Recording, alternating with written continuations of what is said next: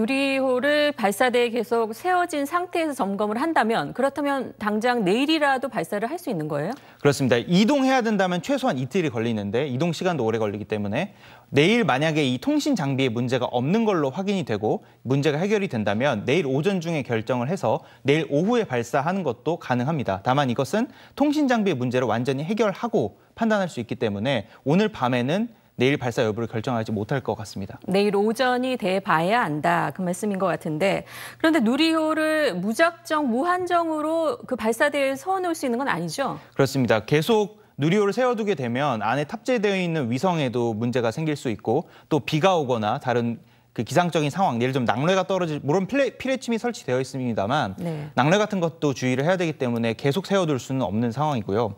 그리고 이제 누리호를 그래서 아마 이동을 하게 되면 아마 시간이 좀 많이 걸릴 것 같고 누리호는 발사 예비 기간이라는 게 정해져 있습니다. 그래서 발사 예비 기간이 5월 25일 내일부터 다음 주 수요일인 5월 31일까지입니다. 이 기간 안에 발사를 못하면 이제 발사관리위원회에서 발사 예비 기간과 발사 기간을 다시 선정해야 되기 때문에 다음 주를 넘어가게 된다 이러면 날짜를 좀 많이 연기하게 될 가능성도 있습니다. 그러니까 앞으로 일주일 안에 다시 발사를 하게 되면 그냥 세워둔 채로 하면 되는데 그 이후에는 다시 조립동을 옮겨야 되니까 약간 문제가 더 복잡해지는군요.